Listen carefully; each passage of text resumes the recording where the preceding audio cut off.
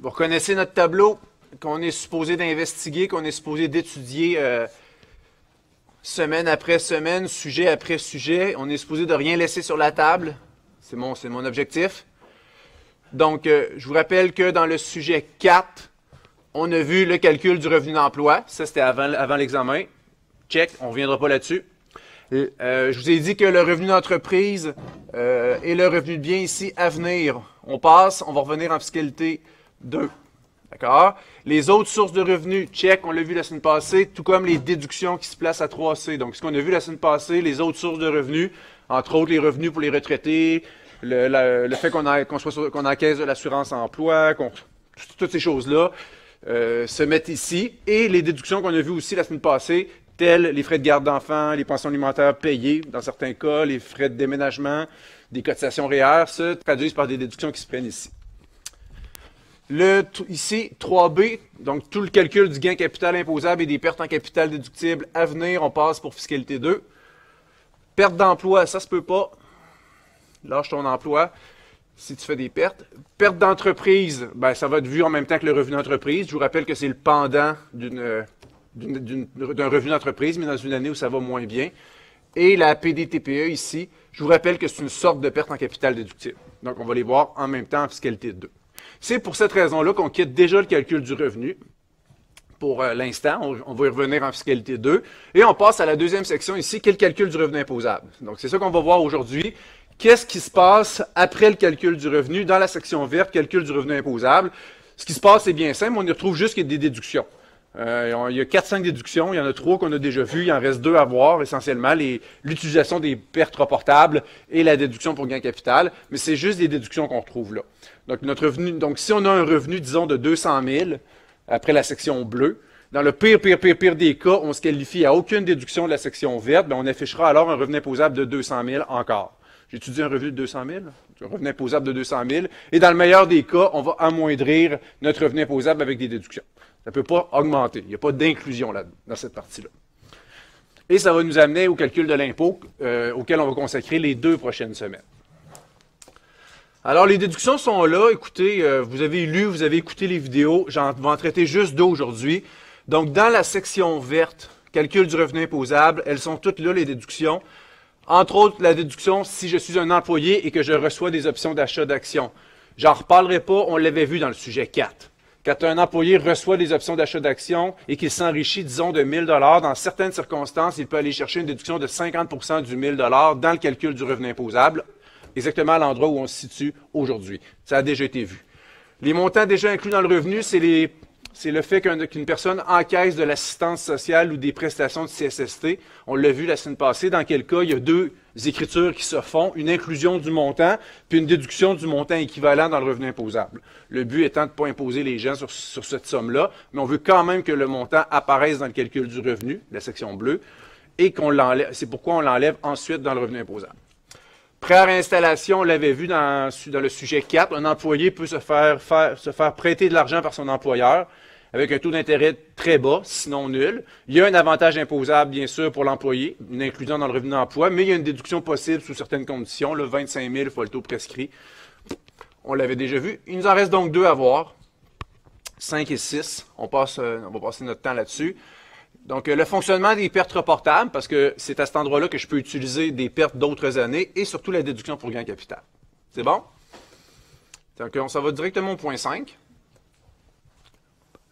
S'intéresser aux euh, pertes reportables. Donc, il y en a quatre pertes reportables possibles, quatre banques de pertes.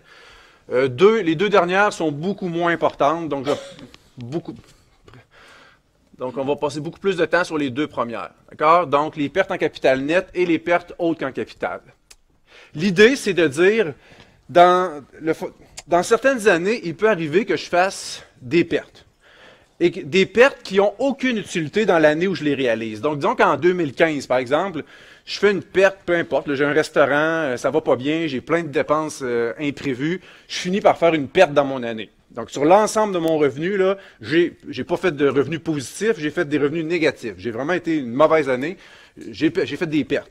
Ben, cette perte-là, dans une année, elle ne sert à rien. Parce que, quand même bien que j'afficherais un revenu de moins 20 000, moins 30 000, moins 40 000, c'est la même chose qu'afficher zéro. je t'annonce que ton revenu imposable va être de zéro, puis ton impôt va être de zéro. Fa, faire la portion qui est en bas de zéro, elle sert à rien dans l'année où tu l'as fait.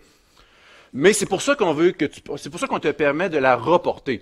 C'est dire, c'est quand même vrai que tu as perdu 20 000 dans ton année, en 2015. Dans le rapport d'impôt 2015, ça sert à rien. Cette perte-là, on va mettre des zéros partout de toute façon. Mais ce 20 000-là, il ne sera pas perdu pour autant, puis il disparaîtra pas pour autant.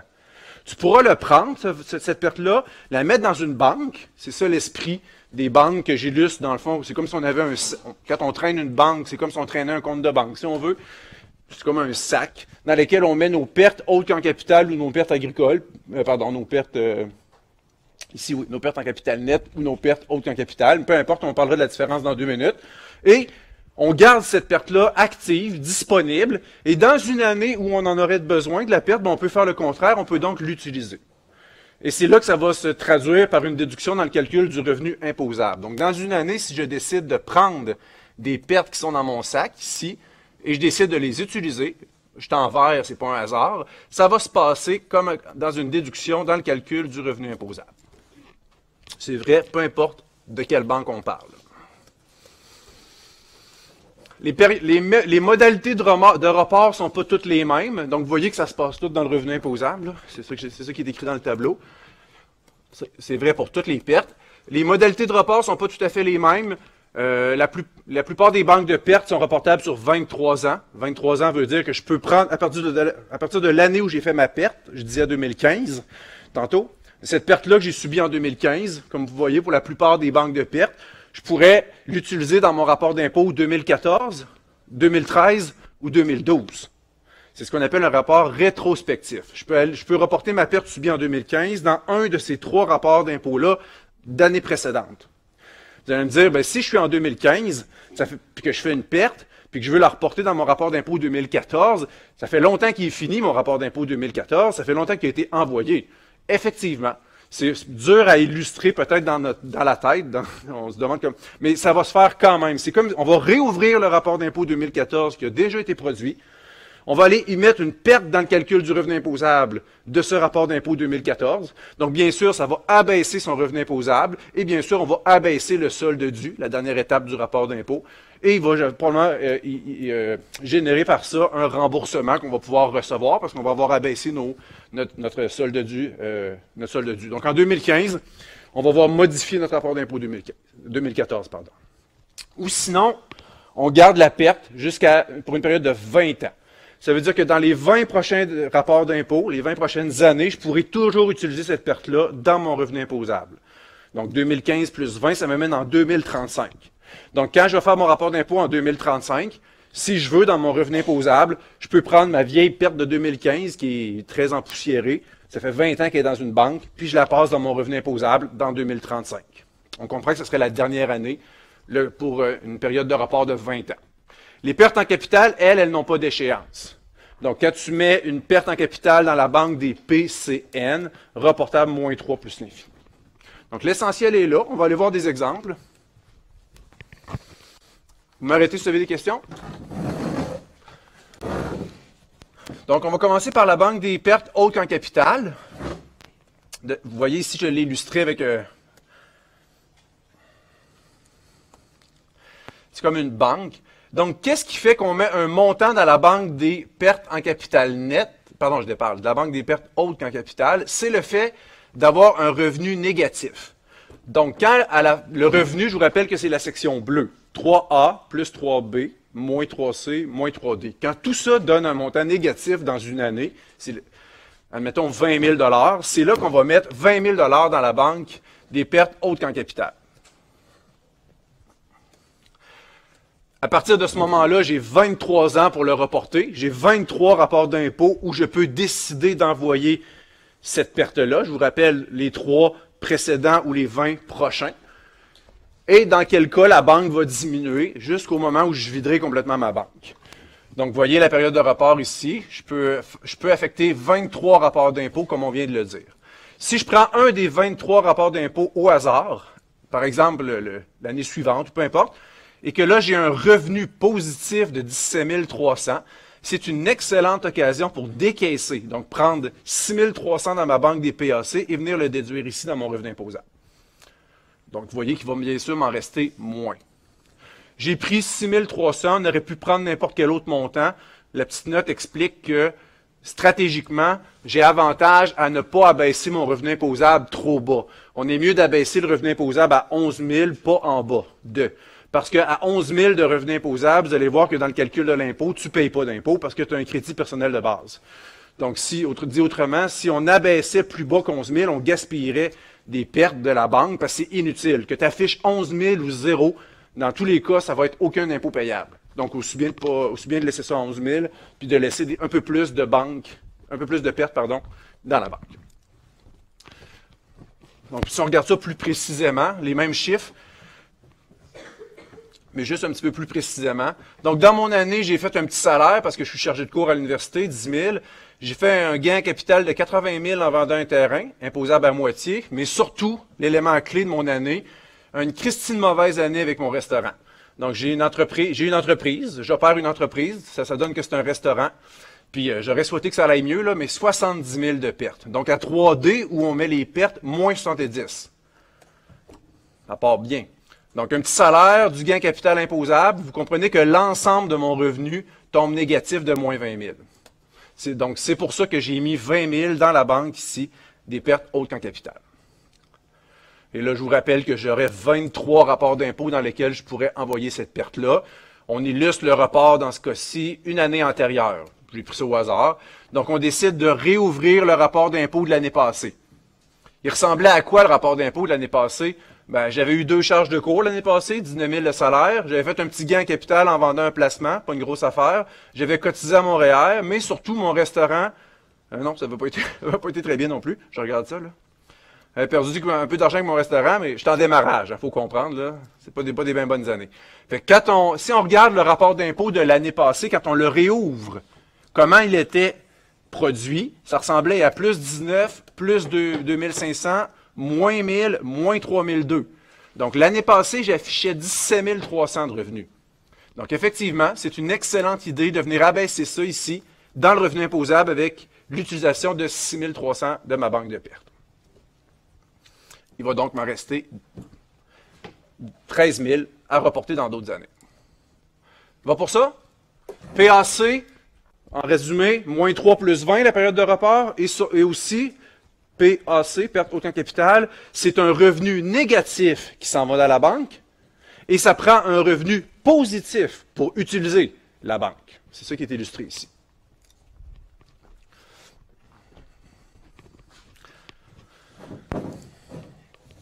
OK, on va tout de suite régler une, autre, une banque de pertes qui n'est pas importante. La banque des pertes, ici, là.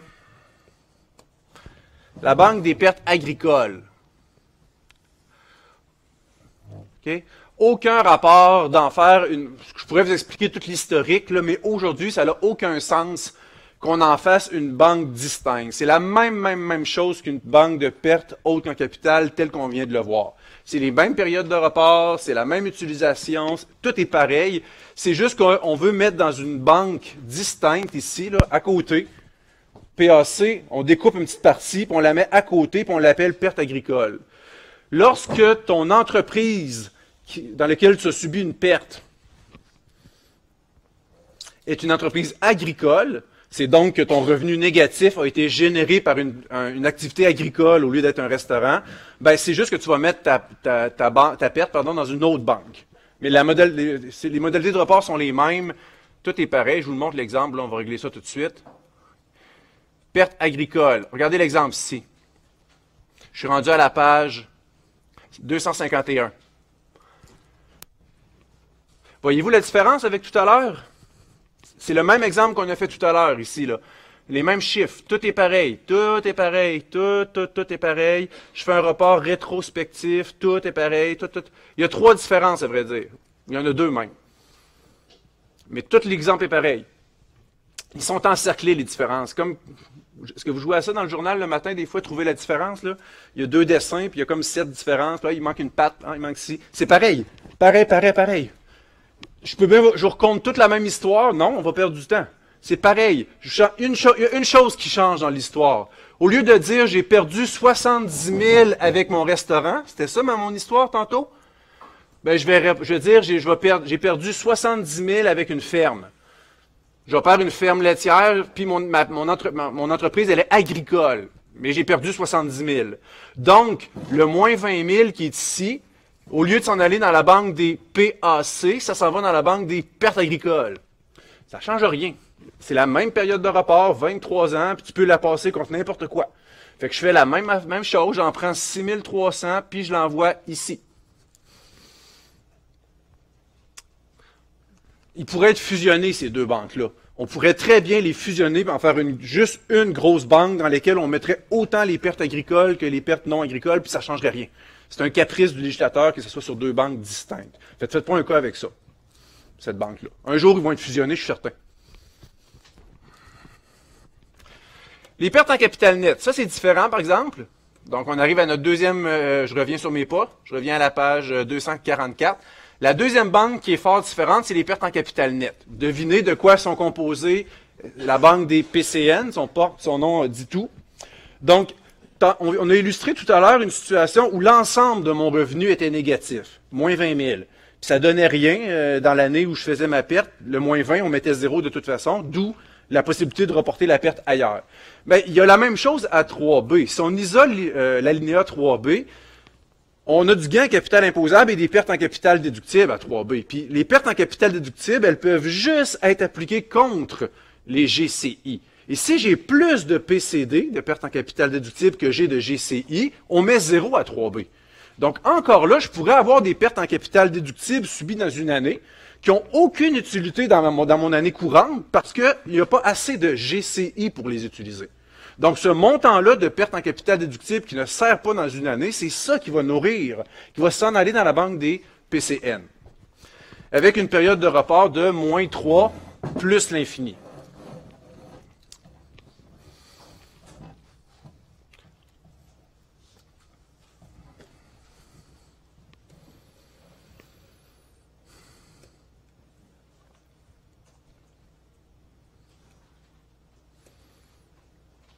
Il y a deux petites par- particularités au niveau de la banque des PCN. Je l'ai dessiné ici. Deux petites particularités. Première particularité, quand tu veux décaisser, quand tu veux utiliser des, des pertes en capital net qui sont dans la banque ici, tu veux les utiliser, qu'est-ce que tu dois faire, qu'est-ce que tu dois afficher comme nature de revenu pour être capable de décaisser des pertes en capital déductibles qui sont dans une banque? Ça prend absolument du gain capital imposable. Donc, avec un revenu de 100 000 ici, c'est pas vrai que je peux prendre 100 000 de PCN. C'est pas des PAC, ça, qui sont déductibles contre toute source de revenus. Des PCN, là, c'est seulement déductible contre du gain capital imposable. On, se rappelle la nature, là. Donc, ici, dans une année, si j'ai 3, 30 000 de gains en capital imposable à 3B et que j'ai un revenu de 100 000 au total, le maximum que je vais pouvoir décaisser de ma banque, c'est 30 000. Le 30 000 ici va s'appliquer, rappelez-vous, de la nature. Ce sont des pertes en capital déductibles. Et l'autre particularité, c'est l'hi- l'historique des taux d'inclusion. Je vous le donne ici, je vais vous le donner à l'examen, vous n'avez pas besoin de l'apprendre par cœur. Vous pouvez le mettre sur votre feuille d'annotation si vous voulez, mais je répète, je vais vous le donner à l'examen. Il n'y a, a euh, a aucun souhait de ma part que vous appreniez ça par cœur. Quand on vous dit que le gain capital en 2017 est imposable avec un taux d'inclusion ou est imposable à 50% seulement, ça n'a pas toujours été le cas. Quand je vous dis que si tu fais 100 dollars de gain capital en vendant un placement, tu mets seulement 100 fois 50% dans ton rapport d'impôt, ça n'a pas toujours été vrai. Regardez l'historique. Avant 1972, on n'imposait pas le gain capital. De 72 à 87, on l'imposait à 50 De 88-89, on imposait 66 et deux tiers du gain capital. Dans les années 90, 75% Moi, j'étais à l'Université Laval en 1994. J'étais assis à votre place, puis mon prof me disait, ben, quand tu fais un gain capital de 100 pièces, t'en mets 75 dans ton rapport d'impôt. OK. C'était l'état du droit fiscal dans les années 90. Ça a changé en 2000, ça a été euh, rabaissé à 66 et deux tiers, puis rabaissé une deuxième fois dans la même année à 50% Donc, il n'y a pas eu de changement depuis octobre 2000, mais ça va bouger. Pensez pas que vous allez faire votre carrière avec un taux d'inclusion qui bouge pas. C'est sûr que ça va bouger. Je pourrais vous parler de la politique fiscale derrière ça. Qu'est-ce qui force le ministre des Finances à, changer son taux d'inclusion du gain capital? On pourrait, faire un, un- un éditorial là-dessus. Bien sûr, c'est une mesure qui intéresse les plus fortunés. Les plus fortunés au Canada, une mesure pour eux euh, qui les intéresse, c'est comment on impose le gain capital. Vais vous dire, les jeunes familles, les étudiants, ils s'en foutent pas mal du taux d'inclusion du gain capital parce qu'on n'en déclare pas de gain capital dans nos, rapports d'impôt respectifs. Mais les plus riches, eux, déclarent du gain capital. Donc, c'est un, peu un portrait de comment on impose les riches avec différentes... euh, il y aurait toute une, discussion à avoir là-dessus, là, puis il y a toute une politique fiscale derrière ça, mais bref. Donc, ça va changer. Si le taux d'inclusion du gain capital a changé, ça veut donc dire que, comprenez-moi bien, dans les PCN, là, il y a plein de pertes en capital déductible qui se ramassent là. Et Dieu sait que les pertes en capital déductibles peuvent rester longtemps dans la banque. Pourquoi? Elle n'a pas d'échéance. Donc, je peux avoir là-dedans des vieilles PCD des années 88, 89, 92, début 2000. Et donc, toutes les pertes qui sont rentrées dans cette banque-là n'ont pas toutes été fractionnées par le même taux d'inclusion. Les pertes qui viennent des années 90, c'est rentré fractionné à trois quarts dans la banque. Les pertes subies en 1989, c'est rentré fractionné par 66 et deux tiers dans la banque. Pensez-vous que je peux tout mélanger ça, moi, aujourd'hui, puis dire, oh, on va utiliser ça contre du gain qui, aujourd'hui, est imposable à 50% Bien sûr que non. Elles n'ont pas toutes la même valeur, les pertes qui sont rentrées dans cette banque-là, pour la raison que je viens d'expliquer. Donc, à l'intérieur de la des PCN, il faut faire un suivi, ce que j'appellerais, avec des sous-banques distinctes. Une sous-banque dans laquelle on, va mettre toutes les pertes qui ont été fractionnées par 50% une autre dans laquelle on va mettre toutes les pertes qui ont été subies par 66 et 2 tiers, et une troisième sous-banque dans laquelle on va mettre seulement les pertes qui ont été fractionnées par 75% Et jamais on peut les mélanger, ça, ces trois-là. Il faut qu'ils restent distincts. Et quand on va utiliser nos PCN, si on n'est pas sur le même taux, il va falloir faire un ajustement. Donc, je vous rappelle que cette année, mon, ici, mon gain capital est imposable à 50% Ben, ici, ça se peut qu'il y ait un ajustement. Si je prends ici, euh, non, c'est pas, pas un bon exemple, mais ici, une perte qui, elle, a été fractionnée par 66 et 2 tiers, je ne peux pas prendre le 12 000 puis le mettre là. Parce que c'est pas le même taux. Je peux pas prendre le 40 000 puis le mettre là. Ben, je dois me limiter à 30, mais même à ça, parce que c'est pas le même taux non plus. Il y aura un ajustement à faire. Donc, ce sont les deux particularités au niveau des PCN. Faire un suivi par sous-banque et conséquemment un ajustement du taux d'inclusion si on n'a pas le même taux d'inclusion que celui de l'année courante où on veut les utiliser. Et la deuxième particularité, c'est que c'est seulement utilisable contre du gain capital imposable. Un exemple? Donc en 2017, vous voyez, en 2017, j'ai un petit peu de salaire, j'ai du gain capital imposable, mais j'ai surtout des pertes en capital de 55 000 déductibles et des PCN dans ma banque, j'en ai déjà 52 000. Donc, si on fait le rapport d'impôt 2000X, 10 000 de salaire, du gain capital imposable pour 40 000 et des pertes en capital déductible de 55 000, donc je dois mettre 0 ici, et le fameux moins 15 000, c'est lui qui s'en va dans la banque des pertes en capital net. Donc, j'ai 15 000 de pertes en capital déductibles en 2017 qui sert à rien. J'en ai 40 qui servent à éponger mon gain sur 55, mais il y en a 15 qui servent à rien. Fait que lui s'en va dans la banque. Donc, j'affiche un revenu imposable de 10 000 dans cette année-là. La banque des PCN que vous voyez à l'écran, je peux la reporter moins 3 plus l'infini. Je peux envoyer ça n'importe où. Dans mon exemple, j'attends un an. Voici ce qui se passe l'année suivante, 2018. J'ai un salaire de 70 000 et un gain capital imposable de 30. Donc, j'affiche un revenu de 100 000. Bien sûr, je vais pouvoir utiliser une partie de ma banque des PCN qui va se reporter ici. Pas 100 000, maximum 30.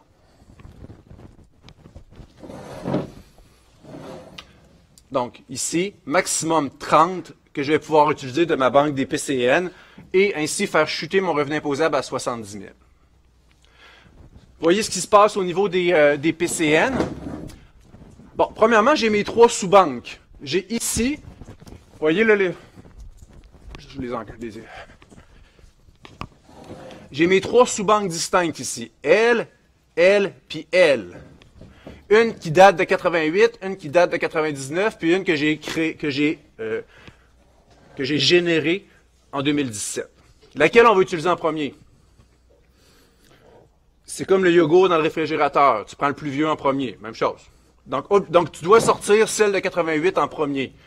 Est-ce que le 12 000 qui est ici peut être utilisé comme tel? Non, il doit être...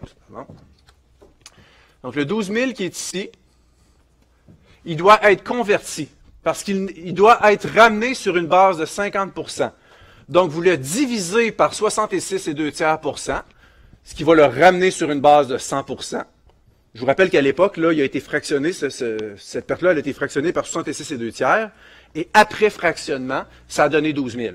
Donc, première étape, on prend ce 12 000-là et on le ramène à son état d'origine à 100% On divise par 66 et 2 tiers et on le multiplie par le taux d'inclusion de cette année.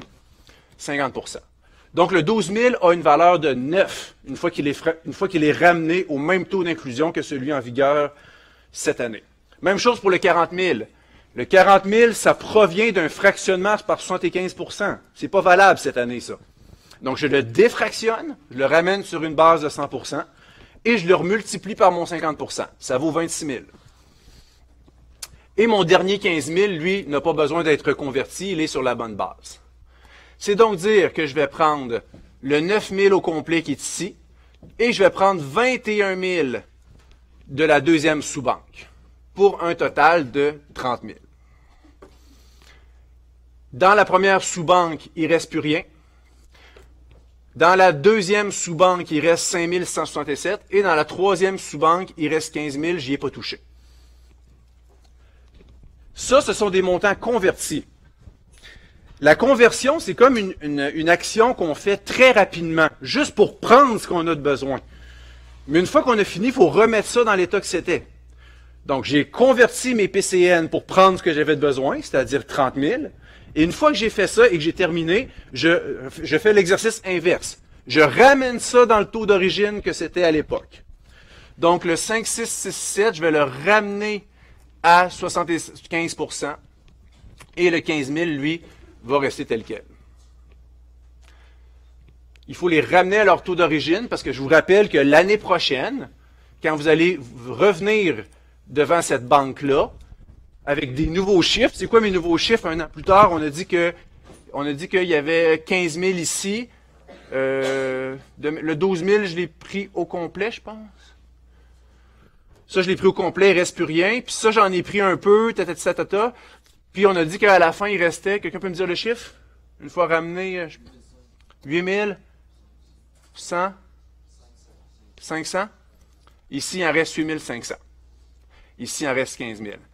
Ben, c'est important que ça soit ramené au taux d'origine parce que euh, sinon, l'année prochaine, quand je vais aller reprendre mon 8500, moi, je m'attends à retrouver quelque chose qui est à 75% C'est juste pour ça. Puis on va refaire la conversion l'année prochaine, prendre ce qu'on a besoin, puis ramener ça comme c'était.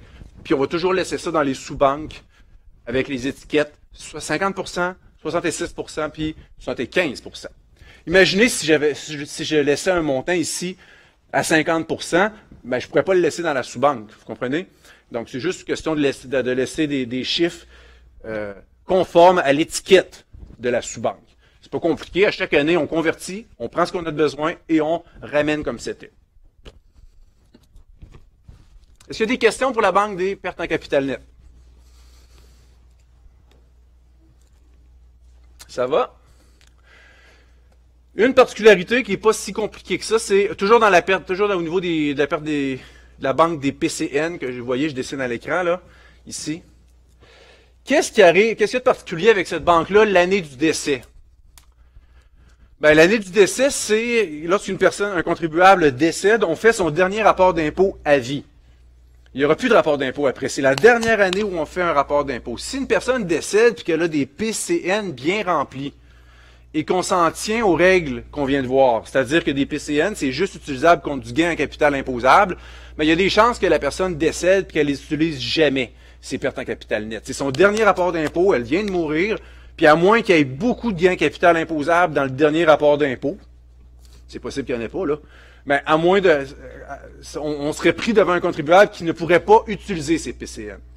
Donc la logique, c'est de dire l'année du décès, on ouvre les valves. Il faut que ça sorte, les PCN on va, faire une grosse exception à la règle générale et on va faire en sorte que les gens qui décèdent puissent vider leur banque de pertes en capital net. Donc l'idée, c'est qu'on va te permettre exceptionnellement, parce que c'est l'année du décès, de passer des pertes en capital net contre toute source de revenus. Comme si c'était des PAC. Tu ne seras pas restreint à les utiliser contre du gain en capital imposable. Donc si tu fais n'importe quelle autre source de revenus, tu pourras passer tes PCN à l'encontre. C'est clairement une, ouverture qui permet de les utiliser plus facilement. Et cette permission-là, je ne te la donne pas juste seulement pour un rapport d'impôt. Je te le donne pour deux rapports d'impôt. Celui de l'année de ton décès et celui d'avant. Fait que si tu décèdes en 2017, l'exception que je viens de dire là va être permise et pour le rapport d'impôt 2017 et pour ton rapport d'impôt 2016. Oui, mais il est déjà envoyé, c'est pas grave. On le réouvre, on ira passer des PCN dedans. Donc, c'est quand même intéressant. Bon, ici, il y a un petit élément, là. Donc, le PCN, l'année du décès, premièrement, je les utilise de façon normale, c'est-à-dire compte du gain capital, imposable. S'il en reste pas, tant mieux. Je n'ai pas besoin d'ouvrir les valves. J'aurais vidé la banque. Mais la plupart du temps, il en reste. Deuxième élément, il y a une partie de ce qui reste qui ne sera pas admissible, qui ne pourra pas sortir. On en reparlera, là, mais pour l'instant, il faut comme le retenir par cœur. C'est un montant équivalent à toutes les déductions pour gain capital que j'ai pris dans ma vie. Le fait de prendre la déduction pour gain capital dans ma vie, qui est un élément très favorisant, on en reparlera dans deux petites minutes, mais ici, ça vient un petit peu m'empêcher de, de pouvoir vider ma banque de perte en capital net. Et le reste, comme je vous ai dit, ça peut être utilisé comme toute source de revenus et l'année du décès et l'année avant le décès.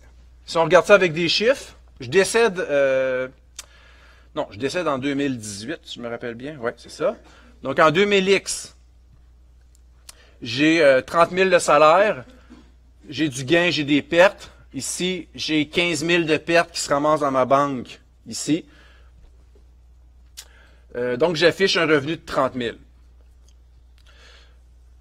Pour l'instant, cette ligne-là n'est pas là. quand je produis pour vrai mon rapport d'impôt, je ne sais pas que je vais décéder l'année prochaine. Donc, j'ai un revenu imposable de 30 000 pour fin de discussion. 30 000. Qu'est-ce qui se passe l'année suivante? Malheureusement, le 15 octobre, bang! Je ne sais pas ce qui arrive, mais tu te fais frapper par je sais pas quoi, un accident, tu décèdes le 15 octobre. Voici à quoi ressemble ton dernier rapport d'impôt. Tu as fait un peu de salaire, un peu de gain capital imposable, tu as un revenu de 50 000. Je vous rappelle qu'on fait ton dernier rapport d'impôt. Voici l'état de ta banque, PCN.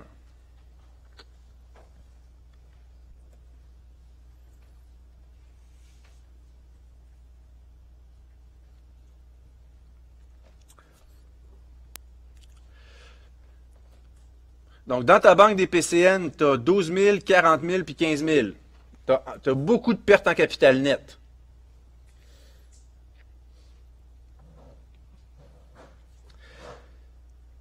Tu en as à peu près 67 000. La première utilisation, utilise-les de façon normale. Donc, la même chose qu'on a fait dans l'exemple précédent, comme si tu n'étais pas décédé. Donc, premièrement, fais tes conversions. Prends les plus vieilles en premier, 9, 21, 0 pour un total de 30 000 ici, et viens déduire ça dans ton revenu imposable l'année de ton décès, 30 000. Reconvertis ce que tu n'as pas pris, il t'en reste 8 500, 15 000 et 15 000. Ben ça ici, ça serait perdu.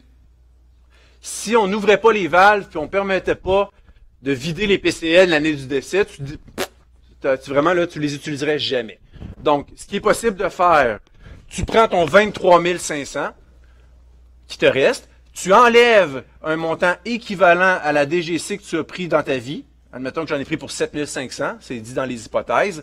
C'est donc qu'il me reste 16 000 16 000 de PCN que je peux envoyer dans mes deux derniers rapports d'impôt et appliquer ça même s'il n'y a pas de gain capital disponible, parce que c'est applicable contre toute source de revenus. Fait que le 16 000, moi, j'en ai envoyé 9 ici, en bas, et j'en ai envoyé 7 en haut.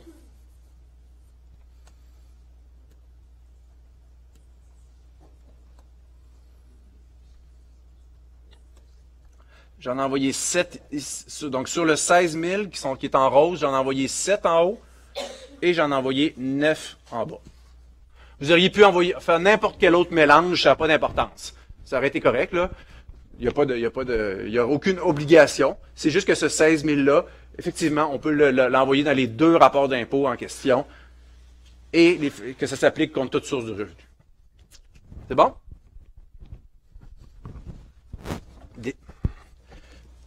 C'est vraiment une exception, ça. C'est pas la règle générale. Le, fonctionnement général des PCN est pas mal plus important pour vous que cette particularité-là, cette particularité-là, l'année du décès. comme prof, je dois m'assurer que vous comprenez comment fonctionnent les PCN normalement. Si tu es mêlé dans l'utilisation normale des PCN, là, tu vas être dans le trouble. Si tu es mêlé l'année du décès, c'est moins grave. C'est une exception, ça. Ça arrive pas souvent, évidemment, par définition. Ça arrive une fois dans une vie, c'est le cas de le dire. C'est bon? Perte agricole, on en a parlé. C'est une imitation des pertes autres qu'en capital. Et la dernière banque de pertes, c'est la banque des pertes agricoles restreintes. La banque des pertes agricoles restreintes, elle, elle vise ce qu'on appelle en anglais des gentlemen farmers. Ça vise des gens qui font une perte avec une activité agricole, mais une activité agricole secondaire. Il y a des gens qui, tantôt quand je, vous ai parlé de la banque des pertes agricoles tout court, ça visait des gens qui ont une entreprise agricole, puis qui font une perte. Par exemple, avec une entreprise, je parlais tout à l'heure d'une ferme laitière. Ça vise les fermiers qui sont à temps plein là-dedans, qui gagnent leur vie avec cette entreprise-là. Une perte agricole ordinaire, c'est ça. Il y a des gens qui ont une entreprise agricole aussi, mais très secondaire. C'est pas leur principale source de revenus. C'est quasi, c'est pas un hobby, là, c'est vraiment une vraie entreprise, mais c'est marginal dans leurs activités. Par exemple, un avocat qui, gagne un salaire de 80 000 pièces par année, puis que la fin de semaine, il y a une entreprise, euh, je sais pas moi, il tripe sur le miel, je sais quoi le nom de, je sais pas comment ça s'appelle, les entreprises euh, Api, hein? Apiculture, bon, merci. Puis qu'à la fin de semaine, il y a une petite entreprise, puis il, il, euh, essaie de, il fabrique du miel, puis il essaie de le vendre, puis des fois il fait des revenus, des fois il fait des, il fait des pertes. Mais s'il fait une perte avec ça, c'est pas une perte agricole, parce que c'est pas sa principale activité. C'est une perte agricole secondaire. Et elle, et elle s'en ira pas dans la même banque. Ça s'en ira pas dans la banque des pertes agricoles. Ça va s'en aller dans la banque des pertes agricoles restreintes. Pardon. Et, là, c'est un petit peu différent, le fonctionnement. Donc, euh, regardez, euh, la particularité de cette banque-là, on a toujours une période de rapport de moins 3 plus 20. Puis mais c'est quoi la particularité de cette banque-là? Pourquoi on en fait une banque distincte? Est-ce qu'il y en a qui se rappellent d'avoir lu ça? Contre quoi je vais pouvoir décaisser les pertes que j'ai mis dans la banque PAR? Contre du revenu agricole seulement. Un avocat qui perd de l'argent avec une ferme, avec une, ruche, la fin de semaine, jamais il va pouvoir passer ça contre son salaire d'avocat. C'est une perte agricole restreinte. Restreinte veut dire, ça va être limité la façon que tu vas pouvoir l'utiliser.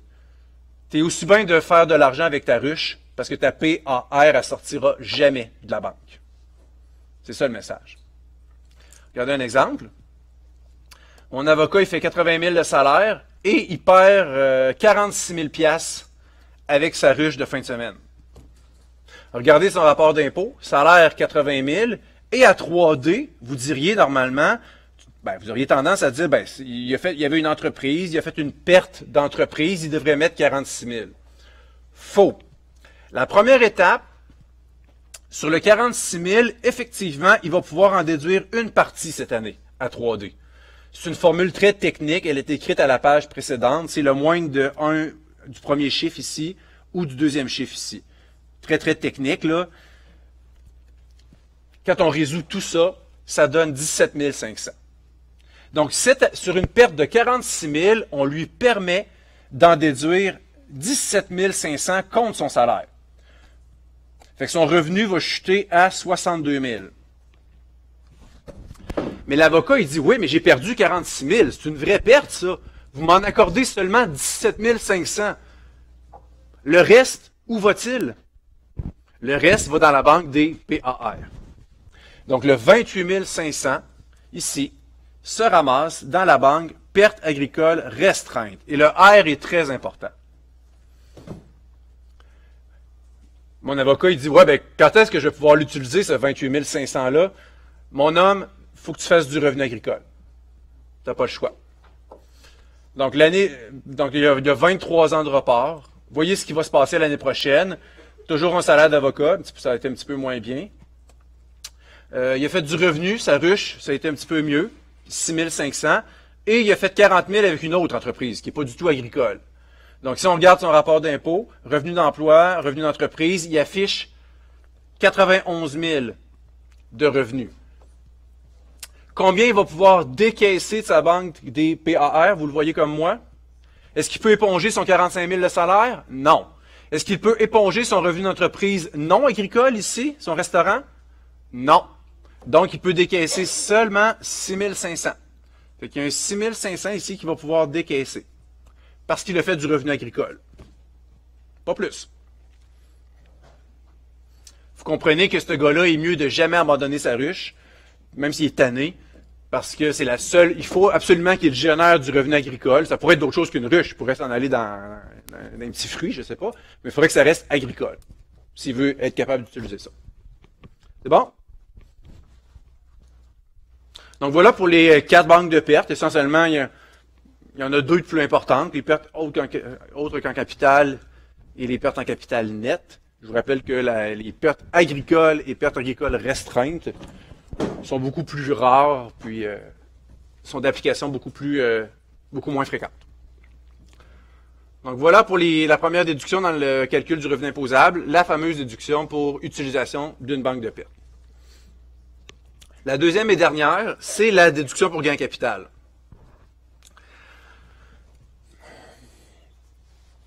je pourrais vous expliquer, on va, on va en parler beaucoup de cette mesure-là parce qu'elle s'inscrit dans le fond dans un trio un trio de mesures. Ça ne me donne rien que je fasse, le tour de tout ce tableau-là. Mais il y a trois belles mesures qui visent les investisseurs qui ont des actions dans des petites euh, compagnies. Donc, on, change complètement de sujet. Ces, ces mesures-là, c'est des mesures pour aider les Canadiens qui ont décidé d'investir dans des petites compagnies canadiennes, les récompenser, entre guillemets, ou en tout cas, récompenser, mais c'est sûrement mérité cette récompense-là parce que ils aident les entreprises canadiennes en injectant, en achetant des actions dans ces petites compagnies-là. Donc, il y a trois mesures. On va souvent en reparler de ces critères-là puis de ces calculs-là. Aujourd'hui, c'est la première fois que je vous les montre. C'est pour ça que ça peut sembler un peu euh, difficile, un peu compliqué avec raison. Mais on va vraiment en reparler souvent de ces critères-là parce qu'on va, il y a trois mesures qu'il faut étudier. Aujourd'hui, on en étudie une des trois qui est la déduction pour gain capital. C'est un montant de, je ne sais jamais par cœur parce qu'il change à chaque année, là, 850 quelques mille dollars fois 50% que tout le monde a de disponible dans sa vie et qu'il peut déduire dans son revenu imposable à l'encontre d'un gain en capital imposable très, très, très particulier. Pour pouvoir utiliser cette déduction-là qui est très généreuse, il faut absolument vendre des actions qu'on appelle des actions admissibles de petites entreprises. AAPE. Tout est là. Si un jour, vous avez la chance de vendre des actions qui se qualifient de actions admissibles de petite entreprise et que vous faites un bon gain en capital imposable, tant mieux pour vous, parce que vous allez pouvoir l'éponger avec l'utilisation de la déduction pour gain capital. Moi, malheureusement, j'en ai pas. Ma, vie c'est en aller autrement. J'en ferai pas dans ma vie du gain capital imposable sur AAPE. Donc, moi, dans ma vie, j'utiliserai jamais ça, cette déduction-là. Je suis pas en affaires. Mais quelqu'un qui se lance en affaires et qui achète des actions de petites compagnies, puis surtout qui les vend, c'est vraiment une mesure pour ça. Pour vous encourager. On a besoin d'investisseurs. On n'a pas juste besoin de profs à l'université. On a besoin de gens qui font de l'investissement dans les compagnies canadiennes. Fait que c'est une façon de les récompenser ou de les stimuler pour le risque financier qu'ils ont pris dans les compagnies canadiennes. Bon, ça c'est l'esprit. Vous avez sûrement hâte que j'arrive aux règles techniques. Donc, euh, donc, il faut absolument être un particulier, ça, c'est, ça va de soi. L'autre chose après n'est pas super importante. Et le calcul, c'est le suivant. C'est très technique, d'accord? Je vous avertis. Donc, pour, pouvoir déduire dans notre section verte un montant de DGC, permettez-moi d'appeler ça comme ça, déduction pour gain capital, il faut calculer, il faut prendre le moindre de deux calculs, le 1 et le 2. Chacun est compliqué, je vous dis tout de suite. Je commence par le 2, d'accord? Puis chaque, chaque terme qui est souligné va devoir être défini. Donc, le deuxième montant, c'est qu'on va prendre le montant disponible que, toutes les personnes ont. C'est le fameux chiffre que je vous ai dit tout à l'heure. On l'a à la page suivante. 835 716. il augmente à chaque année. Il est indexé à chaque année, fois 50% moins, évidemment, la portion que j'ai pris dans le passé. Donc, tout le monde a 835 716 fois 50% de disponible. Mais c'est à vie. Si tu en prends 400 000 fois 50% cette année, ben, il t'en reste 400 000 de moins. Il va t'en rester 400 716. Tu peux en prendre, tu peux égriner ça comme tu veux. Quand il en reste plus, il en reste plus. L'autre calcul, il faut euh, l'autre élément qu'il faut aller calculer, c'est le gain capital que l'on a fait en vendant des actions admissibles de petites entreprises, duquel il faut retrancher toutes les pertes déductibles au titre de placement d'entreprise que j'ai déduit dans ma vie. Je vous rappelle que, on va en reparler, hein. tout, ce qui est, tout ce qui est souligné, on va, on va y revenir. Je vous rappelle que les PDTPE, c'est des, c'est une autre sorte d'allègement qu'on a accordé aux contribuables. C'est la possibilité de prendre une perte en capital déductible à 3B, de la sortir de là, puis aller la déduire à 3D. Je vous rappelle que ça, c'est un bel avantage qui nous permet de déduire une, une perte, une PDTPE ici, là, à 3D contre toute source de revenus. Contrairement à une perte en capital déductible normale qui est vouée à être utilisée contre du gain en capital. Donc, c'est à ça qu'on fait référence. Il faut venir les enlever ici. Et l'autre élément qu'il faut venir enlever, c'est les pertes nettes cumulatives sur placement. Donc, on va aller voir tous ces termes-là un par un, mais vous remarquez une chose, c'est qu'ils ont tous ces, tous ces termes-là ont quelque chose en commun. Ils ont comme effet de réduire ta DGC. Ce sont tous des éléments limitatifs. Dans le meilleur des mondes, là, j'aimerais ça, moi, prendre 835 716 de DGC. Dans le meilleur des mondes, là, fois 50% j'adorerais ça ben, tous ces éléments-là, c'est des éléments qui vont m'amputer, qui vont me réduire le montant de DGC que je peux prendre. Malheureusement, si j'ai déjà réclamé des PDTPE, ça va réduire mon calcul. Malheureusement, si j'ai des PNCP, ça va réduire mon calcul. Malheureusement, si j'ai déjà pris de la DGC dans ma vie, ça va réduire mon calcul. C'est tous des effets néfastes, entre guillemets, pour quelqu'un qui veut réclamer la déduction pour gain capital. Dans le meilleur des mondes, là, je vous souhaite des zéros partout. Dans le meilleur des mondes, je vous souhaite zéro ici, zéro là, puis zéro là. Dans quel cas, vous allez avoir une, DGC complète. Mais, donc, ce sont des éléments limitatifs.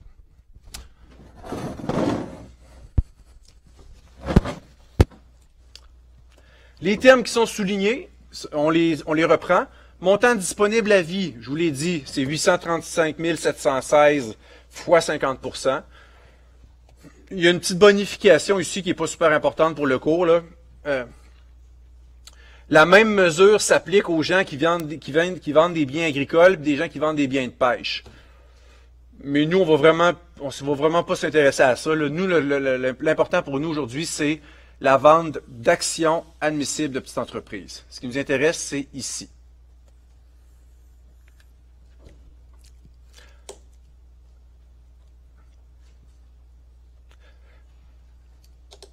Mais un agriculteur, par exemple, qui n'aurait pas d'action à vendre parce qu'il a une ferme et que lui voudrait vendre les actifs de sa ferme, ses quotas, puis qu'il ferait des gains capital importants à vendre ses quotas et ses biens euh, agricoles en question, pourrait lui aussi prendre une déduction pour gain capital jusqu'à 1 million. C'est encore mieux. Un pêcheur, même chose. Un pêcheur qui vend son bateau, vend son quota de pêche, vend, son stock, tout ça, pourrait aller chercher 1 million de déduction pour gain capital. Bon. Mais c'est comme je vous dis, on nous, on va s'intéresser à la portion action admissible de petite entreprise. Euh, permettez-moi de finir par cette définition-là ici. AAPE, c'est de loin la plus importante. Permettez-moi juste qu'on fasse les plus faciles avant.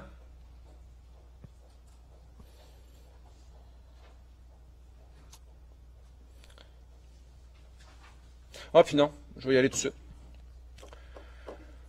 C'est quoi ça des actions admissibles de petite entreprise? C'est super important parce que si, tes actions ne se qualifient pas de AAPE, tu n'en auras pas de déduction pour gain capital. C'est vraiment l'élément clé. Il faut avoir vendu des AAPE. Quatre conditions. Une société privée contrôlée par un Canadien. Il faut avoir détenu les actions pendant au moins deux ans.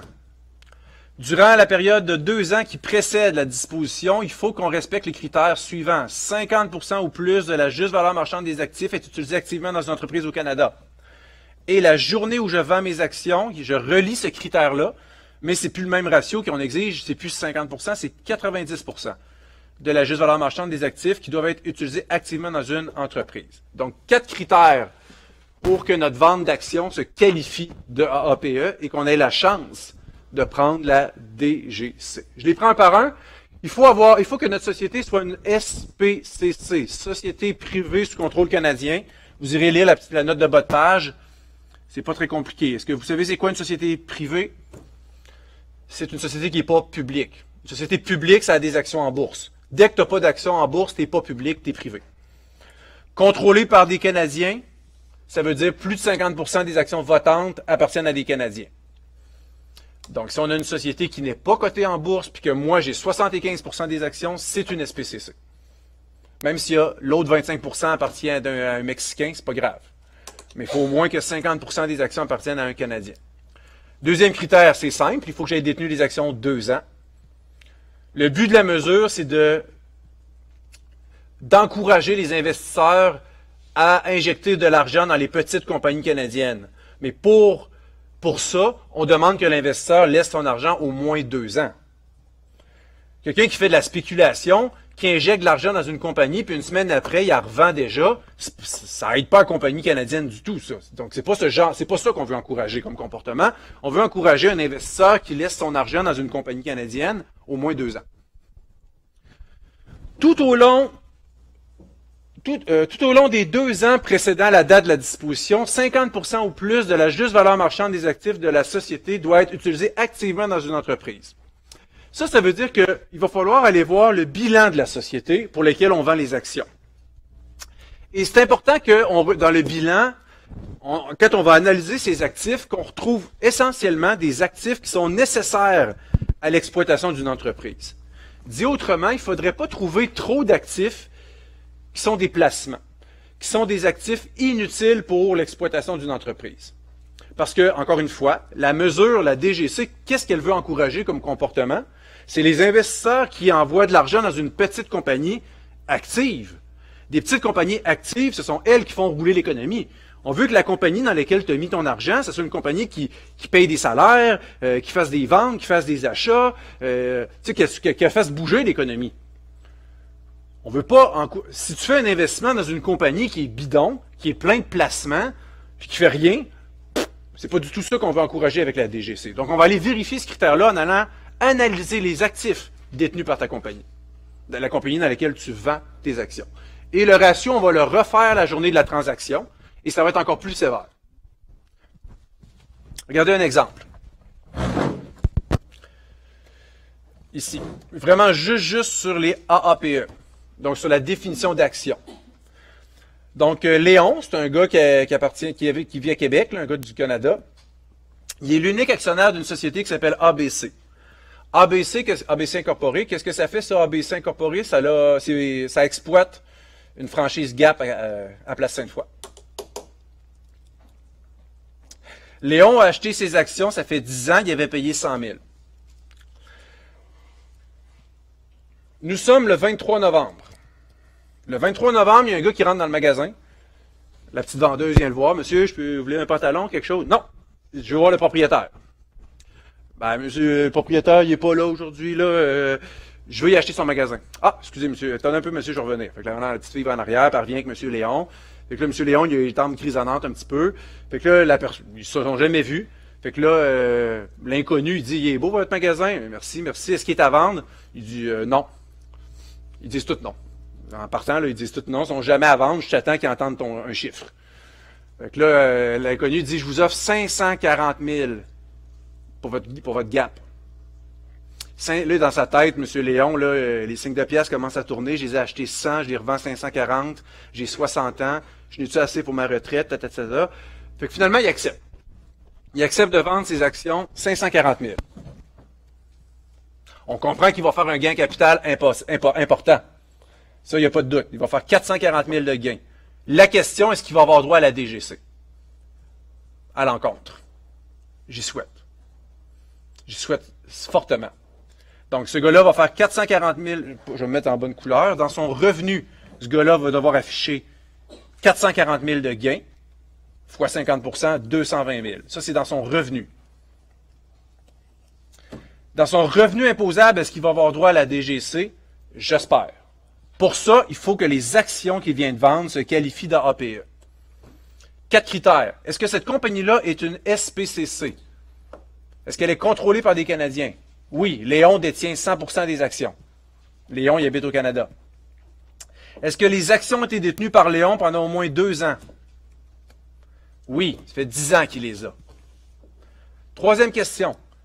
Est-ce que dans cette compagnie-là, si on prend une fenêtre de deux ans, c'est-à-dire du 23 novembre 2017, où on vient de vendre, et qu'on recule deux ans, c'est-à-dire jusqu'au 23 novembre 2015. Donc, est-ce que dans cette fenêtre-là de deux ans, du 23 novembre 2015 au 23 novembre 2017, est-ce qu'en tout temps, donc 23 novembre 2015 au 23 novembre 2017, est-ce qu'en tout temps, dans cette période-là, on peut dire que 50% ou plus de la juste valeur marchande des actifs était utilisée activement dans, le gap. Ben, allons voir. Pour ça, il faut voir le bilan de la société. Donc, je demandais à M. Léon, M. Léon, pouvez-vous me montrer, euh, moi je suis son conseiller, puis j'essaie de, vérifier s'il aura droit à la super euh, DGC. Je dis à M. Léon, ben, je suis en train de vérifier les quatre critères. Pour ce critère-là ici, il faudrait que j'aie accès à votre bilan. Donc, montrez-moi le bilan de votre compagnie ABC. Donc, comme de fait, le dernier bilan qu'il a produit, c'est un bilan euh, au 31 décembre de l'année passée. Le bilan, il est ici. 850 000 d'actifs, 850 000 de passifs et d'avoir des actionnaires. Ça balance.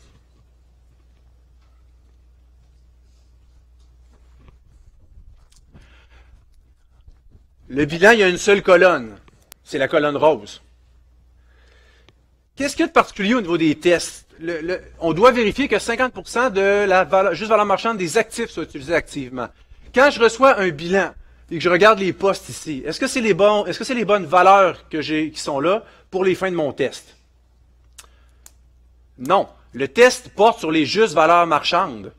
Un bilan, ce n'est pas dressé à la juste valeur marchande. Je ne sais pas si vous vous rappelez du chapitre 1000 de votre euh, cours de, comptabilité. Le principe de base en comptabilité, quand on, fait des états financiers, c'est au coût d'origine. Moi, c'est pas ça que je veux pour mon test. La fiscalité me demande de faire un test sur la juste valeur marchande des actifs. Donc, je retourne le bilan à M. Léon, puis je dis, Léon, ça fait pas. Sortez-moi un bilan à la juste valeur marchande. Il est où le bouton? Là? Ça n'existe pas? C'est quand même, je dirais, M. Léon, sortez-moi un bilan à la juste valeur marchande, ça n'existe pas. Donc, première étape, il va falloir faire, en pratique, c'est très terrain ce que je vous dis là, il va falloir faire un peu de travail sur ces postes-là pour essayer nous-mêmes, à, l'aide d'experts, puis à l'aide de M. Léon, essayer de redresser ces postes-là pour connaître leur juste valeur marchande, la colonne de droite. Parce que moi, j'ai besoin de connaître la valeur marchande de chacun de ces postes-là. Ici. Donc, il y a plein de trucs en pratique. C'est pas du tout à l'examen, bien sûr. Je vais vous les donner, les juste valeurs marchandes. Vous allez être capable de les trouver vous-même. Dans la vraie vie, on a plein de petits trucs. Mais euh, bon, euh, je vais aller rapidement là-dessus. Donc, de l'encaisse, si je prends mes actifs un par un, de l'encaisse, on comprend que ça vaut 12 000. Euh, déplacement, 102 000 au coût. Ben, on est capable, tout le monde est capable de connaître la juste valeur marchande de ses placements. On regarde le relevé du courtier ou on appelle le courtier, on regarde sur son compte euh, sur Internet, on est capable de trouver la valeur marchande. Tous les jours, on est capable de trouver ça. 142 000 dans ce cas-ci. Des débiteurs, des comptes à recevoir, 6 500 au livre. Est-ce que ça vaut vraiment 6 500? Je demande à M. Léon, est-ce que je peux voir votre liste de comptes clients? Il m'imprime sa liste de comptes clients, ça donne 6 500. Il y a quatre colonnes. 30 jours, 60 jours, 90 jours, 120 jours. Hey, il y a du 120 jours là-dedans. Il y a du monde, ça fait quatre mois qu'ils ont acheté leur chemise chez Gap, ils n'ont pas payé encore. Ils sont inclus dans le 6500. Fait que, tu sais, je suis un peu critique avec M. Léon, puis je lui dis, pour les fins de l'analyse, j'ai besoin de connaître la vraie valeur. Des comptes à recevoir vraiment, là, que vous avez des chances de, recouvrir. Fait qu'il fait un peu de travail avec moi, puis il me montre qu'il y a des clients là-dedans qui, effectivement, ils paieront jamais. Il y en a un qui a envoyé un état de compte la semaine passée. La, madame, là, elle a envoyé un mot vulgaire, elle lui a retourné l'état de compte avec un mot vulgaire dessus en voulant dire, je te paierai jamais. Bon, on l'a sorti, 1000 pièces, elle payera pas, elle. Il y en a un autre qu'on a appris qui a fait faillite, il ne payera pas non plus. 500, on l'a sorti. Fait que vous comprenez que je fais ce genre de travail-là pour vraiment avoir une idée de combien sont vraiment recouvrables. Disons 4500. Stock, 495 000 au livre. Est-ce que ça vaut vraiment 495 000? Est-ce qu'il y a vraiment 495 000 vendables? Sors-moi ta liste d'inventaire, Léon. Bzzz, m'imprime sa liste d'inventaire, ça donne 495 000. Je lui demande de me trier ça en ordre de date d'achat. Les plus vieux aux plus récents. Je vais, vous, lire les premières lignes. Veste, chlorophylle, rose, kaki. C'était acquis en 1995. Il y, en a une boîte de 30 à 200 dollars chacune. Acheté en quelle année j'ai dit? En 85, c'était à la mode le, rose kaki, le rose euh, en 85. Vous vous rappelez pas de ça? Vous n'étiez pas né. Ils sont où? Je regarde, je suis dans le gap, là. Ils sont où? Ben là, il va me dire, dans une caisse dans le fond en arrière. Là, je peux pas mettre ça sur mon plancher si je vais perdre ma franchise. Ah, OK. Ils sont encore dans le stock. Fait tu sais, je suis un peu critique. Des, vieilles affaires de même. je, je, critique sur des vieux stocks qui sont peut-être encore dans la liste d'inventaire, mais qui en réalité sont invendables. Je pourrais aussi faire une prise d'inventaire physique. On pourrait dire, on fait une prise d'inventaire physique. Vraiment, ici, il y en a combien? Il y a différents moyens. Disons que j'arrive à 475 000. Des acomptes provisionnels, ça c'est de l'impôt, que des chèques d'impôt que j'ai déjà envoyés au gouvernement. Fait que c'est de l'argent qui m'appartient, c'est juste qu'elle est au gouvernement. 35 000. Frais payés d'avance. Des frais payés d'avance, c'est des fournisseurs que j'ai payés à l'avance. Donc mon assurance, ma CSST, il faut tout que je paye ça à l'avance. Donc c'est de l'argent qui m'appartient, qui sont chez les fournisseurs. J'ai payé pour, puis j'attends de recevoir le service. Des immobilisations. 195 000. C'est quoi ça, le 195 000 exactement dans, la, valeur comptable? Je parle pas, je à des comptables dans la classe. Coût moins amortissement cumulé. C'est ça qu'on met au livre. Est-ce que ça, ça reflète vraiment la valeur marchande sur le marché de mon immeuble? Bien sûr que non. Fait encore une fois, je vais être un petit peu critique, je vais me trouver des, comparables pour euh, évaluer combien valent les choses. Euh, dans ses immeubles, il y a son mur à souliers, il y a tout son comptoir caisse, il y a tout son équipement informatique, euh, il y a tout ça. Fait que je pourrais peut-être trouver des trouver des comparables ailleurs, combien ça se vend, combien ça vaut, bref. J'arrive à 210 000. Donc, de la juste valeur marchande d'actifs, en réalité, j'en ai pas pour 850 000, j'en ai pour 884 000. Et là, je me pars deux colonnes en bas, ici. Lesquels de ces actifs sont nécessaires pour opérer un gap? Lesquels sont superflus? C'est du jugement, là. On va se poser la question entre nous. Et j'espère que la première colonne va donner plus que 50% C'est ça que je cherche. Je cherche, je cherche à ce que 50% ou plus de la juste valeur marchande soit utilisée activement dans le gap. 12 000 pièces d'encaisse, est-ce que c'est nécessaire pour opérer un gap? Hmm, je sais pas. Je pose la question à M. Léon. Est-ce que c'est nécessaire, 12 000 pièces dans la caisse? Il me dit oui. Il dit, euh, j'ai pas le choix. Tous les jeudis, il faut que je paye les employés. Euh, moi, j'ai pas le choix, là. Fait que je le crois. S'il y avait 100 000 dans la caisse, je serais un peu plus critique. Je pense pas que 100 000 dans la caisse, c'est nécessaire. Peut-être que si j'avais 100 000 dans la caisse, je couperais la poire en deux. Je dirais peut-être 15 000, c'est un fonds de roulement raisonnable. Je le mettrais dans la colonne de gauche.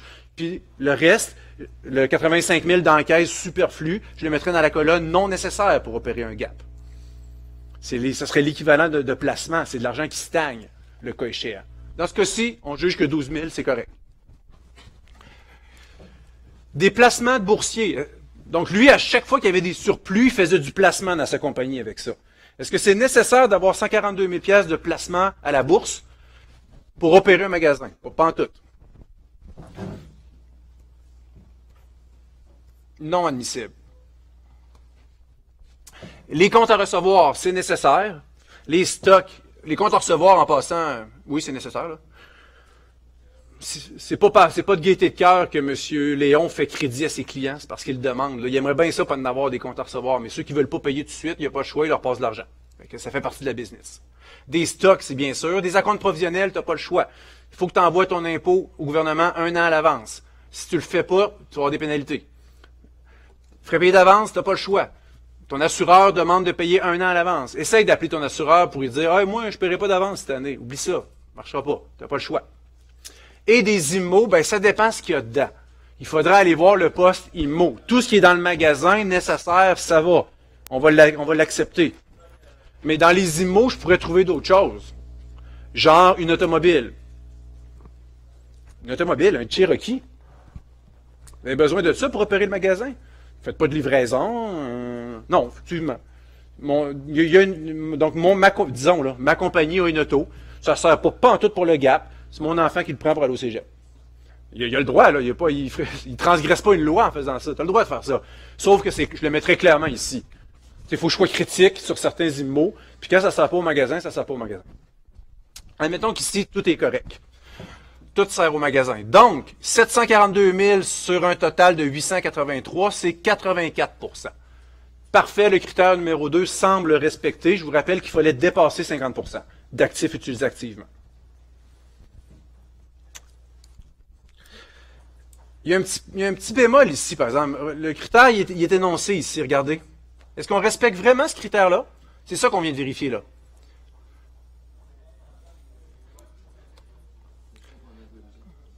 Test sur les actifs lors de la période de deux ans, 50% au plus de la juste valeur marchande doit être utilisée activement dans une entreprise. Est-ce que j'ai vraiment vérifié ça? Qu'est-ce que tu dis, toi? Au 31 décembre 2016.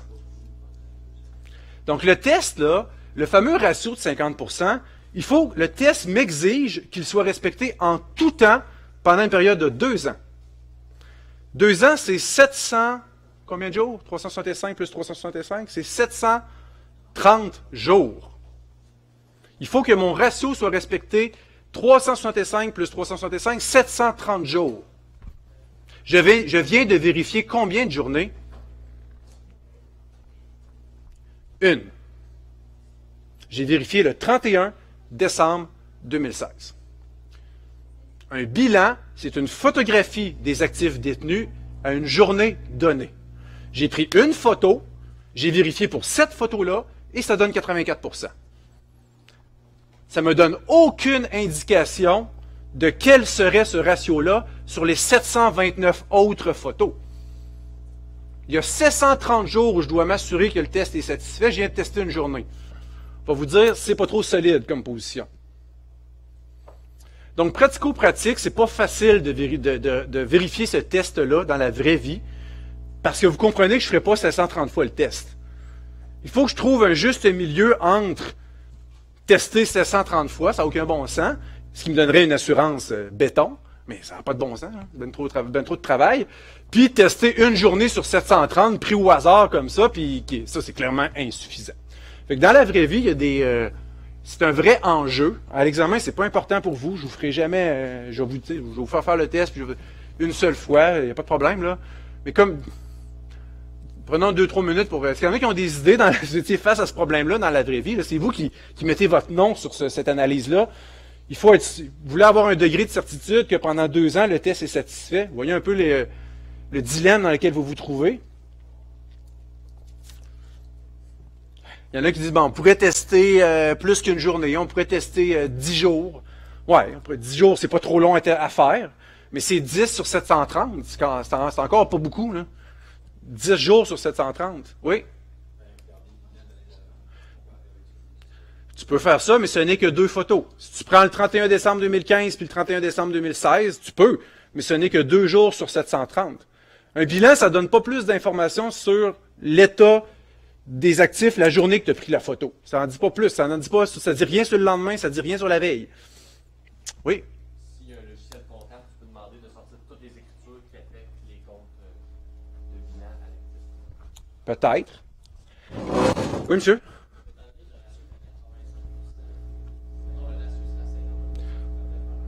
Un peu plus d'effort. Ouais. À 52% tu serais plus nerveux, tu ferais peut-être plus de tests. À 85, tu es peut-être moins nerveux, tu en fais peut-être moins de... C'est vrai que ça pourrait influencer ma, stratégie. C'est effectivement, c'est des bonnes idées. En pratique, là, c'est pas le nombre de tests qui est important. C'est de tester les bonnes journées. Tester les journées les plus risquées. Le nombre n'est pas important. Il faut tester des journées risquées ou on a peur d'échouer le test. Je suis capable de les choisir, ces journées risquées-là. Qu'est-ce que j'entends par des journées risquées? C'est des journées où j'ai vraiment peur que le test passe pas. Dans mon bilan, quel poste est néfaste pour mon bilan? Plus il est haut, plus je risque d'échouer le test. Placement. Ça, c'est un poste clé. 475 sur 883, à lui seul, il représente la moitié du bilan. Trouvez les journées où le placement était le plus haut, puis testez-les. Ça, c'est des journées dangereuses. Je répète, une journée où ton placement a, atteint des niveaux élevés, il y a un poids important ton placement dans ton bilan, puis c'est un actif nuisible. Ça, c'est une journée importante à tester. Passe pas à côté de cette journée-là. Et dans le même esprit, est-ce que j'ai un poste qui, dans le sens contraire, est très favorable pour mon bilan? Vous allez me dire toutes les autres. je m'en fous des frais payés d'avance. 5000 pièces, je ne le regarde même pas. Lequel est le plus lourd? Les stocks. Les stocks, c'est un, il, prend beaucoup de place dans mon bilan, lui aussi. Puis lui, c'est un actif favorable. Fait qu'une journée dangereuse, c'est une journée où les stocks seraient bas. Venez après le Boxing Day. Allez tester le 27 décembre. Fait trois jours, tu fais des spéciaux, et la clientèle sont venus s'arracher le linge. C'est mon client me guiderait. Moi, je connais pas la business. Là, Monsieur Léon, c'est quand dans l'année que c'est vide, on voit les murs tellement qu'il n'y a plus rien. Il me dirait, genre, viens euh, juste après la rentrée scolaire, après le Boxing Day, puis il me donnerait trois, quatre dates stratégiques comme ça où il sait que son stock est bas. Fait que si je teste des journées où le stock est bas, je teste des journées où les placements sont hauts et que ça, c'est des journées dangereuses, ça. Et que ces journées-là, le ratio passe, c'est une bonne confirmation.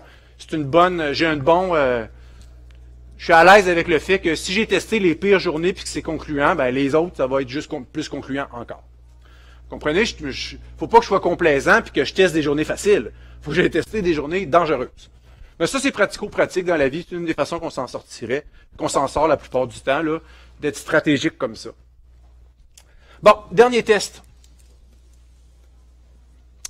Le dernier test, la journée de la transaction, on refait le test. Ça, c'est assez simple on refait le test et il faut espérer toucher 80, atteindre 90% Je vous rappelle que je ne l'ai pas, mon 90% hein, Dans mon test que j'ai fait au 31 décembre 2016, on était à 83% C'est pas grave, c'était 50 qu'il fallait atteindre.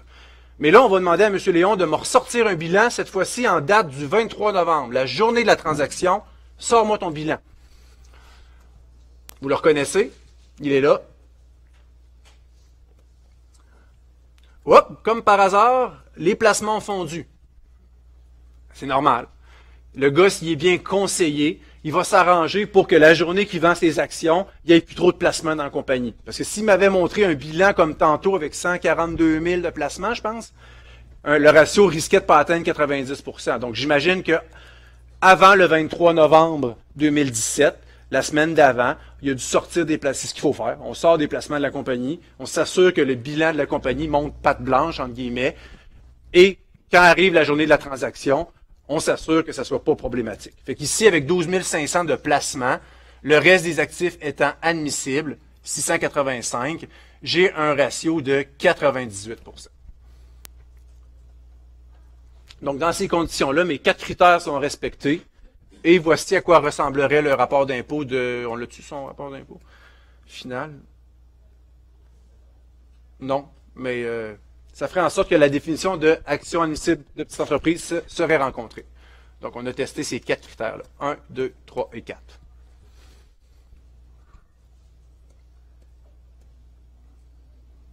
Oui? Merci. Semblait. 267? Ah, ok, c'est un autre exemple, mais c'est les mêmes chiffres. Je fais un dernier exemple. Vous comprenez que tout ça, vous allez avoir à faire ça dans l'étude de cas de tantôt, qui est évalué. Donc, de vérifier si des actions se qualifient de AAPE, comme on vient de faire là. Il y aura ça à faire tantôt. Et le fameux calcul de la DGC, le calcul avec nos, nos 4-5 éléments. Donc, on va, on va compléter le rapport d'impôt. Tu as raison, Cindy, c'est la suite. Le monsieur Léon va continuer son rapport d'impôt. On se rappelle qu'il a vendu des actions 540 000, il les a fait payer 100 000. Ces actions, on vient de vérifier qu'elles se qualifiaient de AAPE. Ça, on l'a vérifié avec les bilans. Donc, on va continuer le problème. Euh, J'apprends que ce gars-là a déjà fait des revenus de placement dans le passé et qu'il a déjà fait des frais de placement euh, dans le passé pour euh, de tel et tel chiffre. On verra à quoi ça sert. Cette année, il a fait une perte de location avec un immeuble locatif. Ça n'a pas été trop bien. Heureusement, il a fait un revenu de dividende de 1500. Et M. Léon a déjà pris 30 000 de déduction pour gain capital. Donc, sur son montant total à vie, il en a déjà pris un petit peu. En 1992 alors que le taux d'inclusion était de 75%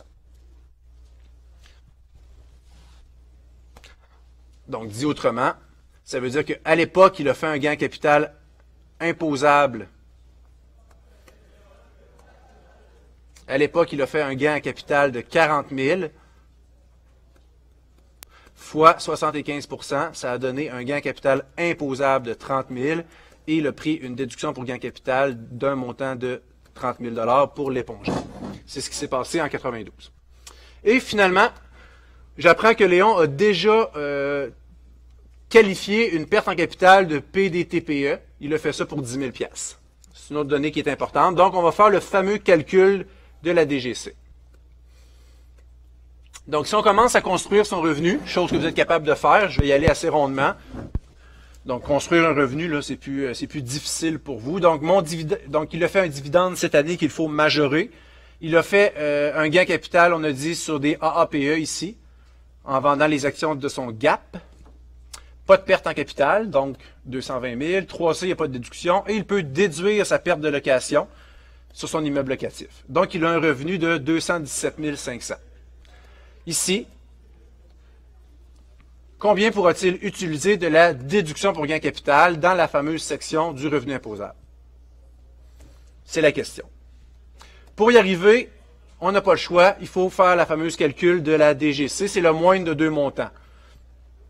Montant 1, montant 2. Je vais commencer par le 2, si vous permettez, c'est plus facile. Le 2, et je vous rappelle, hein, juste avant de commencer le calcul, ce que je vais mettre en rose, ce sont des éléments limitatifs. Tout ce qui va apparaître en rose à l'écran, ce sont des éléments qui malheureusement t'amputent dans ta DGC. C'est-à-dire ce que tu aurais déjà pris dans le passé vient t'amputer cette année. C'est-à-dire toutes les PDTPE cumulatives t'amputent.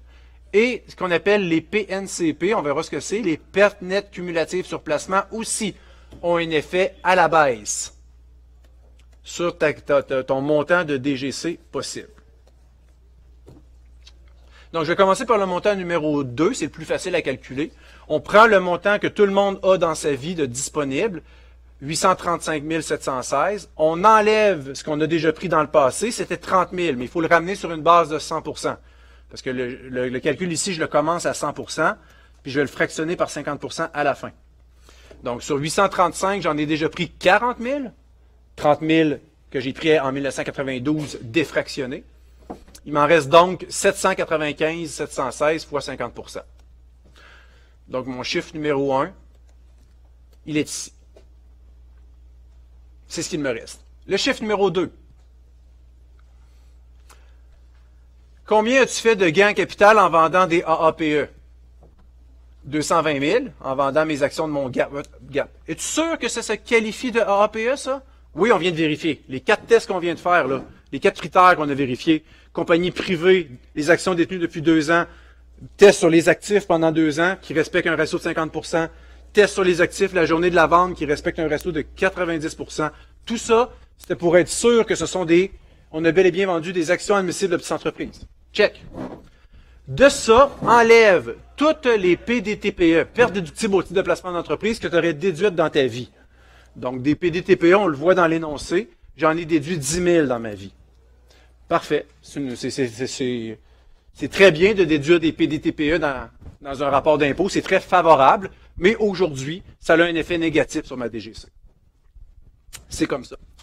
Dernier élément, on enlève les PNCP, pertes nettes cumulatives sur placement, du particulier à la fin de l'année. 5930 qui est expliqué ici. C'est une nouvelle expression, les pertes nettes cumulatives sur placement, 5930. C'est une nouvelle expression. Qu'est-ce que ça représente, ça?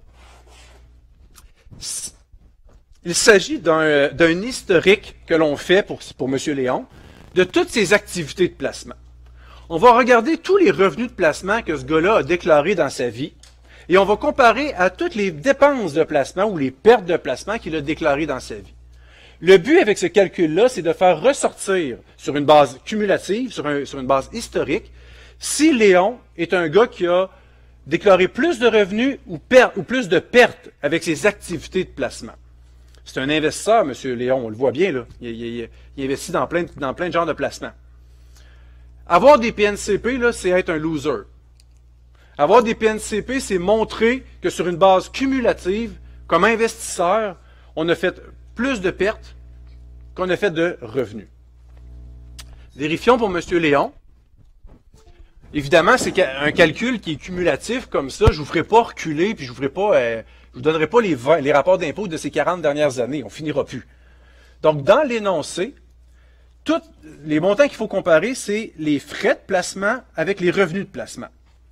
Donc, tout ce cumul-là, je l'ai fait au complet pour M. Léon. Je l'ai fait au complet et je me suis arrêté à la fin de l'année passée. Donc, le fameux cumul, vous l'avez au complet jusqu'au 31 décembre de l'année passée. 8500 de dépenses de placement que M. Léon avait déclaré à l'impôt par rapport à 25 000 de revenus de placement. Il voudrait juste à le mettre à jour. Rajouter une année. Ce cumul-là de, disons, 40 ans, il se termine à la fin de l'année passée. Rajouter une année, une 41e année. Rajouter l'année courante. Cette année, est-ce que Léon a déclaré dans sa section bleue, juste en haut ici, est-ce que Léon a déclaré encore des pertes avec ses placements? Ben oui, regardez ici. 4500, là, il y a une perte de biens ici.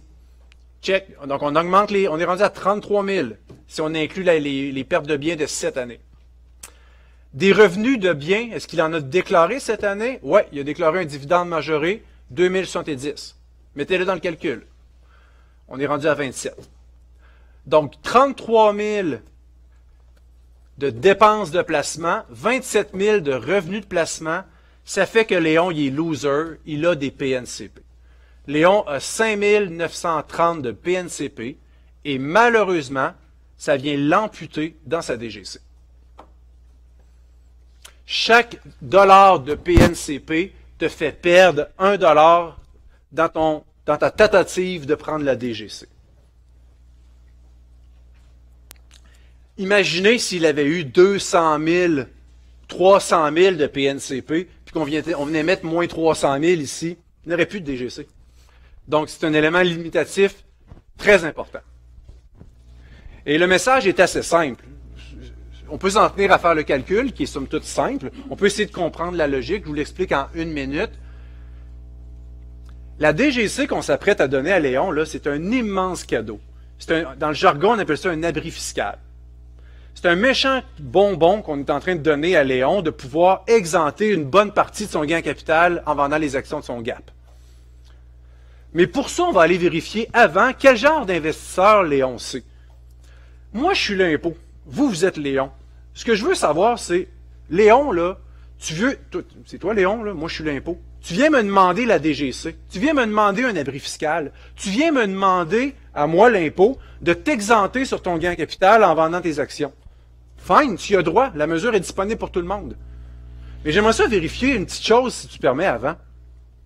Est-ce que tu as été payant, toi, Léon, comme investisseur, pour l'impôt? Si on fait un cumul de tout ton historique comme investisseur, puis qu'on compare les revenus de placement que tu as déclarés dans ta vie à l'impôt, c'est-à-dire 27 000, avec toutes les pertes de placement que tu as déclarées à l'impôt durant toute ta vie, c'est-à-dire 33, ben, je conclus que moi, l'impôt, j'ai jamais fait une scène avec toi, Léon. Tu es un loser. La démonstration est faite. Tu n'as pas été payant comme investisseur au niveau de l'impôt. Tu as déclaré plus souvent des pertes que des revenus. Aujourd'hui, tu fais un gain capital, puis tu voudrais qu'on t'exempte. Euh, Permets-nous d'être un petit peu sur les freins. On est moins enclin à donner la DGC à quelqu'un que ce portrait-là.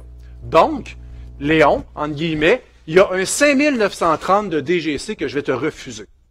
Le reste, ça va. Sur le reste, c'est-à-dire il va te rester 204 000, tu pourras prendre 204 000 de DGC.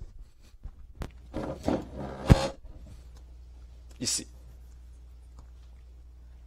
Donc, je résume, un contribuable qui affiche un historique négatif ici dans ses activités de placement, automatiquement, ça va l'amputer d'un montant équivalent dans sa DGC. Parce qu'on juge que tu n'as pas besoin de toute ta DGC. Tu n'es pas, un, investisseur qui a payé beaucoup d'impôts sur ses activités de placement. La démonstration est faite. Donc, dans ce cas-ci, le moindre des deux, vous les voyez. Le moindre de mes deux calculs, 204 ici ou, 100, ou 397 en bas, c'est 204.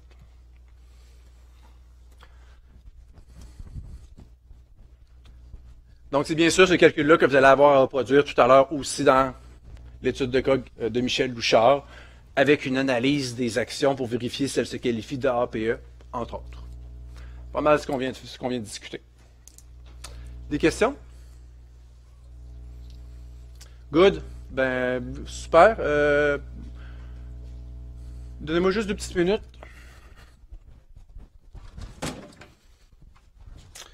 Je vous explique rapidement l'étude de cas. Ceux qui veulent commencer, vous pouvez prendre une